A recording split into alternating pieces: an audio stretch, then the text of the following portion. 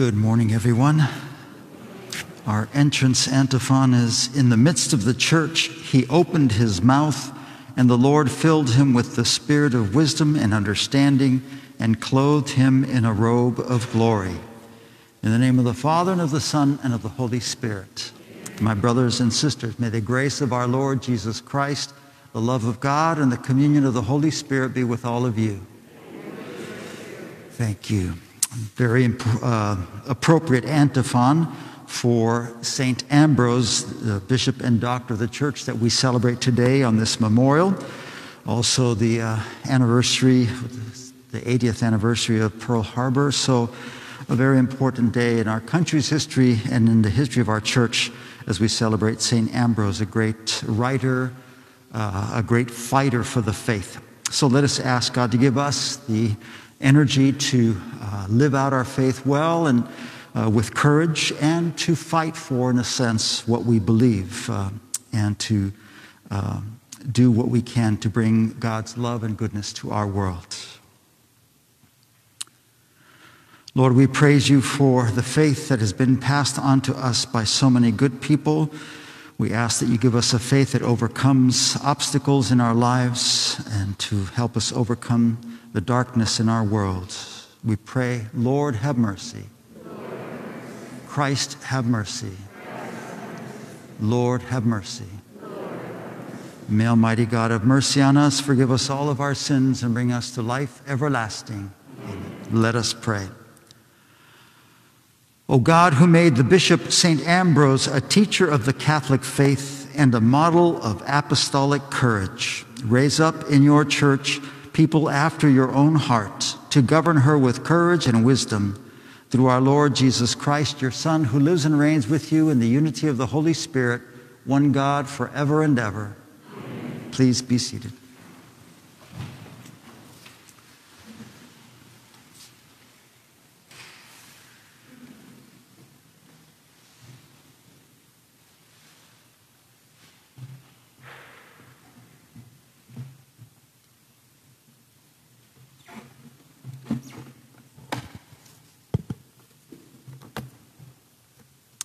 A reading from the book of the prophet Isaiah.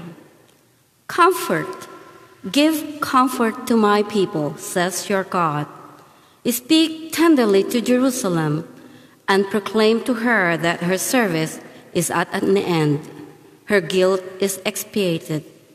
Indeed, she has received from the hand of the Lord double for all her sins. A voice cries out, in the desert, prepare the way of the Lord. Make straight in the wasteland a highway for our God. Every valley shall be filled in, every mountain and hill shall be made low. The rugged land shall be made a plain, the rough country a broad valley. Then the glory of the Lord shall be revealed, and all people shall see it together for the mouth of the Lord has spoken. A voice says, Cry out. I answer, What shall I cry out? All flesh is grass, and all their glory like the flower of the field. The grass withers, the flower wilts, when the breath of the Lord blows upon it. So then, the people is the grass, though the grass withers and the flower wilts, the word of our God stands forever. Go up into a high mountain, Zion, herald of glad tidings. Cry out to the top of your voice, Jerusalem, herald of good news. Fear not to cry out and say to the cities of Judah, Here is your God. Here comes with power the Lord God who rules by his strong arm. Here is his reward with him, his recompense before him. Like a shepherd, he feeds his flock. In his arms, he gathers the lambs, carrying them in his bosom and leading the youth with care. The word of the Lord. The Lord our God comes with power Sing to the Lord a new song. Sing to the Lord, all you lands. Sing to the Lord, bless his name. Announce the salvation day after day. Tell his glory among his nations, among all peoples, his wondrous deeds. Say among the nations, the Lord is king. He governs the people with equity. Let the heavens be glad and the earth rejoice. Let the sea and what fills it resound. Let the plains be joyful and all that is in them. Then let all the trees of the forest rejoice. They shall exult before the Lord, for he comes, for he comes to rule the earth. He shall rule the world with justice and the peoples with his constancy.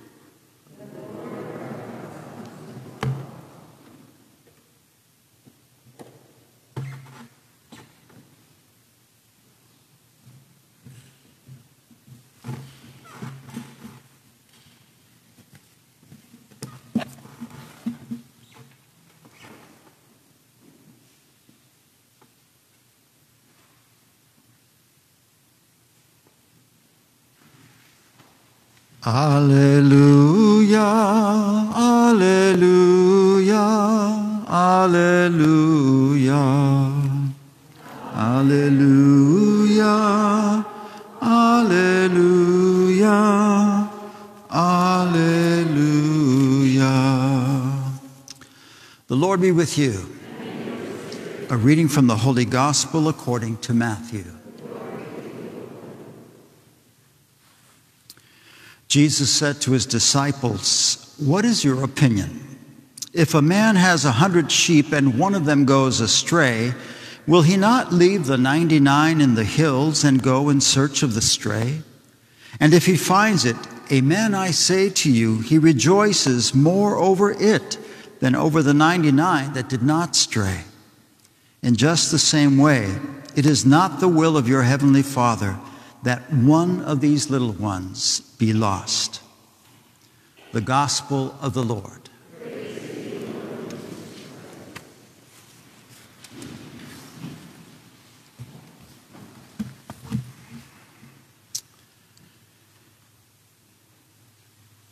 The Catholic Church, the Christian Church in the fourth century, moved from being a persecuted church to eventually, at the end of the fourth century, becoming the official religion of the Roman Empire, an incredible transition and change. And in that time of transition, especially the second half of the fourth century, is when, when St. Ambrose uh, lived and was bishop.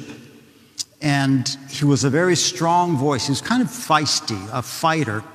And in that time, he had to fight uh, for the truth of the church. He had to fight against uh, a very, very uh, profound heresy called Arianism that basically claimed that Jesus was not God. And so he was one of the, the, the, bishops, one of the leaders of the church at that difficult time of transition to really fight for the truth of our faith. He stood up against not just uh, the Arian priests and bishops and leaders of that heretical sect, but even stood up to emperors and empresses uh, for uh, the truth to come through. So, in many ways, uh, a person that really fought for the faith in the best sense of the word, not with violence so much, but with a strong personality. So, in some ways, Ambrose shows that sometimes a shepherd, a bishop who's a shepherd, has to be strong in leading and fighting for the sheep and fighting for our faith. And in the first reading today in the gospel, we have the beautiful image of God as a shepherd. Uh, the first reading, it's from the book of the prophet Isaiah, uh, the beginning of the second part of, of Isaiah's writings that took place. Uh, they're all put together in one book in our Bible, but there are actually three different uh, books in that, uh, under that name of Isaiah the prophet. And this is the beginning of the second book called the Book of Consolation, meant to be a comforting message of the people, uh, the Jewish people who are had been in Babylon in exile for many years. So, a very comforting message that God will be like a shepherd and bring them back home to their homeland, bring them back to security, and so on. But in the gospel, Jesus takes that image of shepherd even further. He says a shepherd is one who's going to go and look even for one lost sheep. And I'm sure you've heard at some point some homily saying that it makes absolutely no sense to leave 99 sheep in the wilderness to go look for one. You just cut your losses, forget the one. You want to save the 99, right? But the point of this parable is not practicality, it's all about the, the love that God, that Jesus has for each one of us. Jesus loves all of us, loves all people, uh, but not just us as a whole, but He loves each one of us uniquely and infinitely. He knows us intimately as a shepherd knows each one of his sheep. And so it's a very, very powerful image of the love that God has for us, the care He has for us but also that our God is that shepherd who is relentless, who is, in a sense, a fighter for us, who will go and search for us, and who loves us perhaps even more when we are lost, who will never give up on us. And I've come across so many people that they say, Father, I just don't know. God can't forgive me because of what I've done. And, you know, whether it's in confession or counseling or they haven't been to church for a while because they feel unworthy.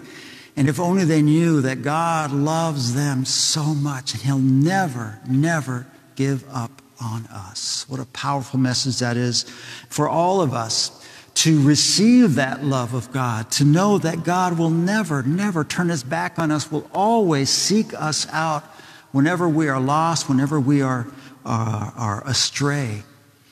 Uh, he never gives up on us. So let us take comfort in that fact and do our own and uh, in our own uh, uh, play our own part in fighting for our faith, in, in being relentless in loving others who hurt us, who somehow uh, wandered away from doing good things, and never give up on them and trust that somehow God will help, the, uh, help them and help us to, to, to find His goodness uh, in our lives. Our Lord is the Good Shepherd.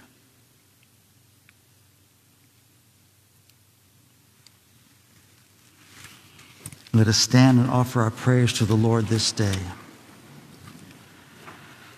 Lord, we thank you for St. Ambrose and so many people throughout the history of our church that have fought for the faith, that have struggled against powers and against uh, untruths to bring us our faith and help us um, to inspire us in living out our own faith. Uh, we pray to the Lord. Lord, hear our prayer. We thank you most of all, Lord, for being our good shepherd, for caring for us, leading us, and guiding us, and for seeking each of us out, even when we sin, even when we stray from the truth, stray from uh, your loving arms. Help us to open our hearts to you and let you welcome us back. We pray to the Lord.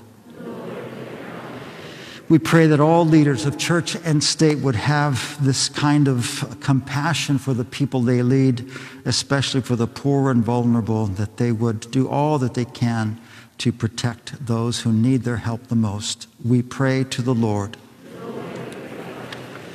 We pray at this Mass in a special way for the repose of Ambrosio and Magdalena Solonga. We lift them up to the Lord and this day is also the second year death anniversary of Ray Roldan. So we pray for Ray, for uh, Letty, his wife, who's here, and the, the children, all the loved ones. We lift all of them up to the Lord. We pray to the Lord. And in a moment of silence, let us lift up our personal needs to our loving God.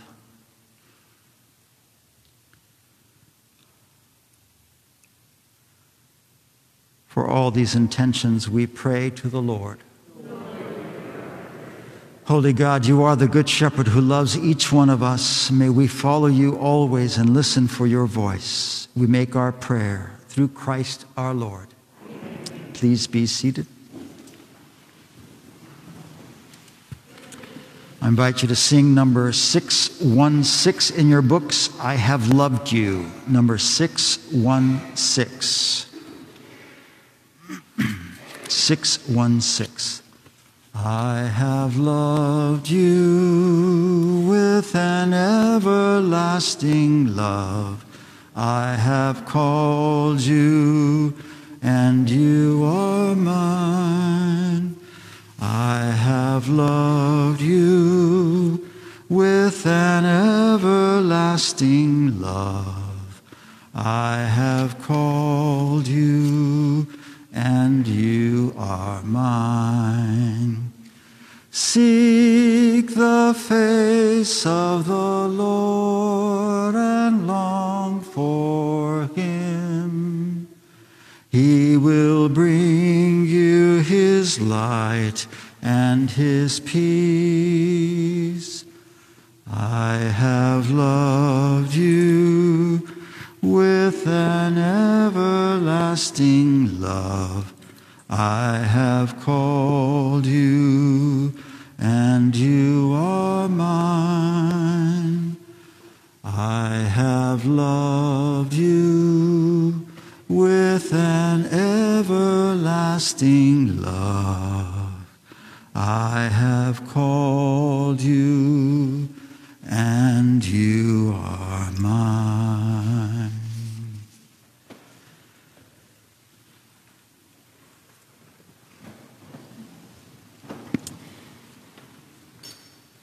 Pray, my brothers and sisters, that this our sacrifice and that we ourselves might be acceptable to our loving and almighty God.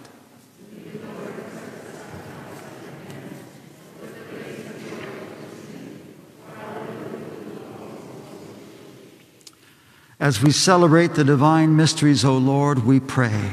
May the Holy Spirit fill us with that light of faith by which he constantly enlightened St. Ambrose for the spreading of your glory through Christ our Lord. The Lord be with you. Lift up your hearts. Let us give thanks to the Lord our God. It is truly right and just, our duty and our salvation, always and everywhere, to give you thanks, Lord, Holy Father, Almighty and eternal God, through Christ our Lord.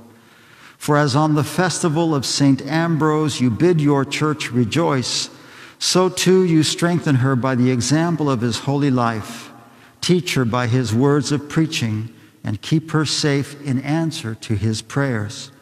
And so, with the company of angels and saints, we sing the hymn of your praise as without end we acclaim Holy, holy, holy, Lord God of hosts.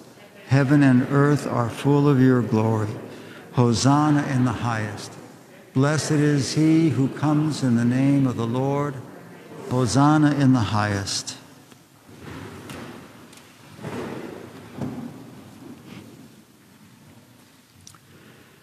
To you, therefore, most merciful Father, we make humble prayer and petition through Jesus Christ, your Son, our Lord, that you accept and bless these gifts, these offerings, these holy and unblemished sacrifices, which we offer you firstly for your holy Catholic Church. Be pleased to grant her peace, to guard, unite, and govern her throughout the whole world, together with your servant Francis, our Pope and Jose, our bishop, and all those who, holding to the truth, hand on the Catholic and apostolic faith. Remember, Lord, your servants and all gathered here whose faith and devotion are known to you. For them we offer you this sacrifice of praise, or they offer it for themselves and all who are dear to them, for the redemption of their souls in hope of health and well being and paying their homage to you, the eternal God, living and true. In communion with those whose memory we venerate, especially the glorious ever Virgin Mary, Mother of our God and Lord Jesus Christ, and blessed Joseph, her spouse, your blessed apostles and martyrs, Peter and Paul, Andrew, and all your saints. We ask that through their merits and prayers in all things we may be defended by your protecting help. Therefore, Lord, we pray, graciously accept this oblation of our service, that of your whole family, Order our days in your peace and command that we be delivered from eternal damnation and counted among the flock of those you have chosen. Be pleased, O God, we pray, to bless, acknowledge, and approve this offering in every respect. Make it spiritual and acceptable so that it may become for us the body and blood of your most beloved Son, our Lord Jesus Christ.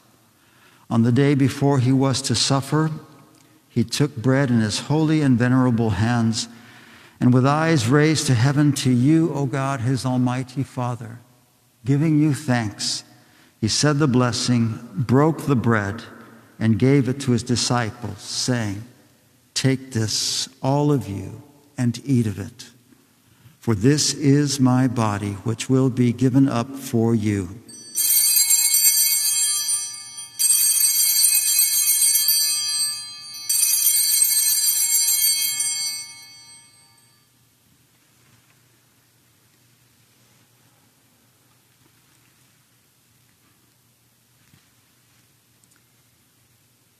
In a similar way, when supper was ended, he took this precious chalice in his holy and venerable hands, and once more giving you thanks, he said the blessing and gave the chalice to his disciples, saying, Take this, all of you, and drink from it, for this is the chalice of my blood, the blood of the new and eternal covenant, which will be poured out for you and for many for the forgiveness of sins.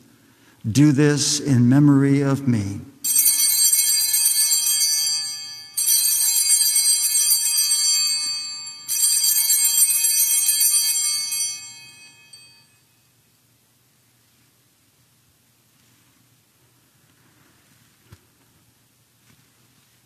The mystery of faith. We proclaim your death, O Lord, and profess your resurrection until you come again. Therefore, O Lord, as we celebrate the memorial of the blessed passion, the resurrection from the dead, and the glorious ascension into heaven of Christ, your Son, our Lord, we, your servants and your holy people, offer to your glorious majesty from the gifts that you have given us this pure victim, this holy victim, this spotless victim, the holy bread of eternal life, and the chalice of everlasting salvation.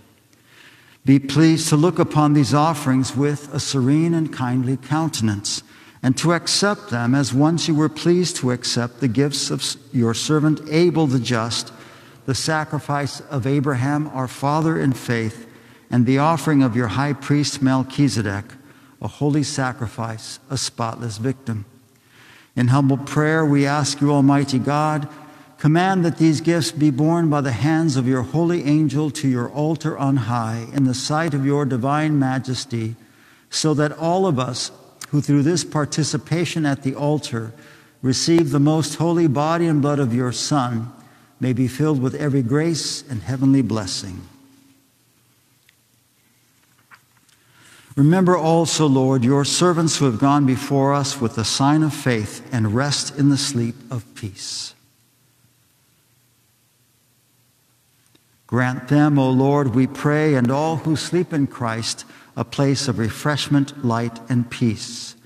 To us also, your servants, who, though sinners, hope in your abundant mercies, graciously grant some share and fellowship with your holy apostles and martyrs, with John the Baptist, Stephen, Matthias, Barnabas, and all your saints. Admit us, we beseech you, into their company, not weighing our merits but granting us your pardon through Christ our Lord, through whom you continue to make all these good things, O Lord. You sanctify them, fill them with life, bless them, and bestow them upon us.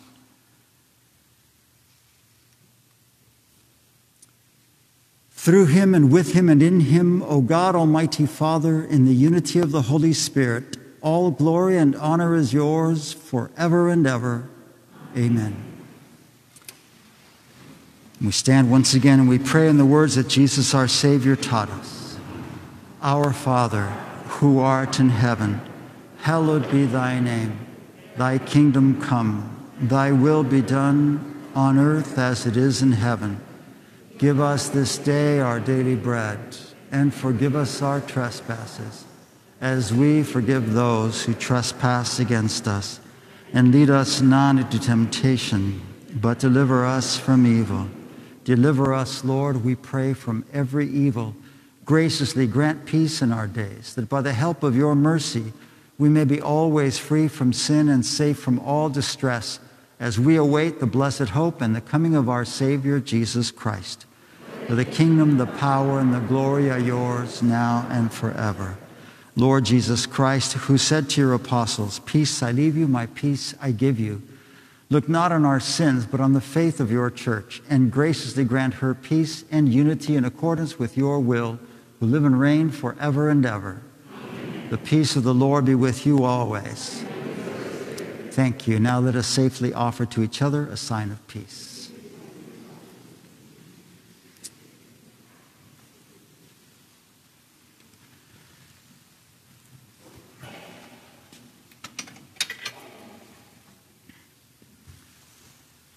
Lamb of God, you take away the sins of the world, have mercy on us. Lamb of God, you take away the sins of the world, have mercy on us. Lamb of God, you take away the sins of the world, grant us peace.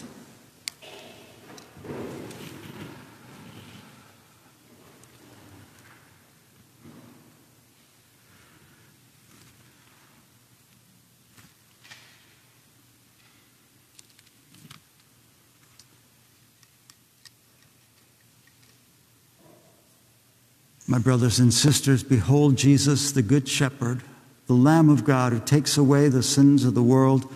Blessed are those called to the supper of the Lamb. I am not worthy that you should enter my roof, but only say the word, and my soul shall be healed. We say together once again the act of spiritual communion. My Jesus, I believe that you are present in the most holy sacrament I love you above all things, and I desire to receive you into my soul. Since I cannot at this moment receive you sacramentally, come at least spiritually into my heart. I embrace you as if you were already there and unite myself wholly to you. Never permit me to be separated from you. Amen.